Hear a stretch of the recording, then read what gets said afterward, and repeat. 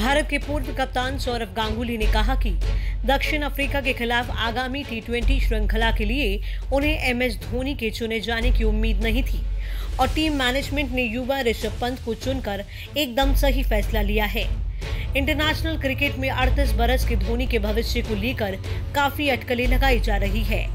गांगुली ने कहा, मुझे नहीं लगता था दक्षिण अफ्रीका के खिलाफ श्रृंखला के लिए उनका चयन होगा। वेस्टइंडीज के खिलाफ टी श्रृंखला से भी संकेत मिल गया। कि पंत को और मौके देने चाहिए। यही सही है, क्योंकि जब धोनी भी युवा थे, तब उन्हें मौके मिले थे।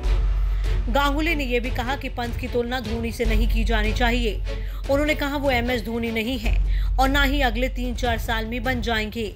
धोनी को द एम एस धोनी बनने में पंद्रह साल लगे। वो भारतीय क्रिकेट की खास जमात का हिस्सा है।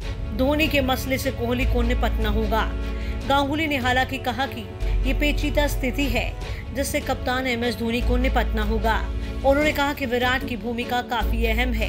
ये कहना मुश्किल है कि उसकी धोनी से क्या अपेक्षाएँ हैं, क्योंकि मुझे नहीं लगता कि धोनी के संन्यास को लेकर अटकलबाजी होनी चाहिए।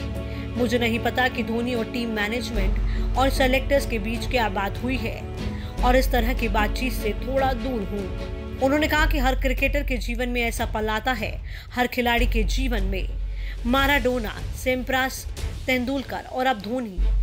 आप उस उम्र में पहुँच जाते हैं कि ऐसी स्थिति आती है। अगर विराट और टीम मैनेजमेंट को लगता है कि धोनी वापस आकर खेल सकते हैं तो वो खेलेंगे। अगर उन्हें लगता है कि अब आगे बढ़ने का समय है तो वो आगे जाएँगे। हालाँकि इसमें सेलेक्टर्स की अहम भूमिका होगी। विराट कोहली भारत के सबसे सफल टेस्ट कप्तान बनने के मुआने पर है। अगर वो वेस्टइंडीज के खिलाफ जमैका टेस्ट जीत जाते हैं तो वो उनके नाम 28 टेस्ट जीत हो जाएगी। और वो एम एस धोनी से आगे निकल जाएँगे।